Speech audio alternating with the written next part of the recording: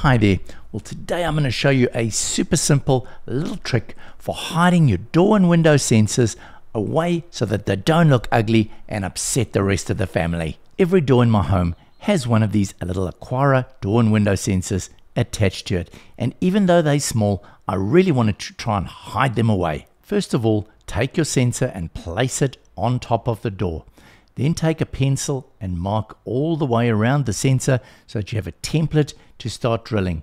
Next, take a nice wide drill bit. I've got about a 10 mil here, and I start drilling all the way around on the inside of those markings.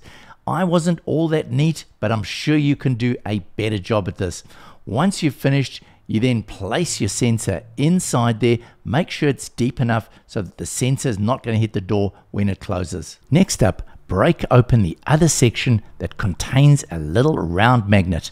Now drill a hole in the top of your door frame and make sure it's just too small so that you can tap it up there so it'll hold neatly above the door when it closes. And there we go. Now as you can see, as I open the door, my sensor goes into the open position. So I hope this short little video has given you a great idea on how to make your smart home a little bit more neat and tidy.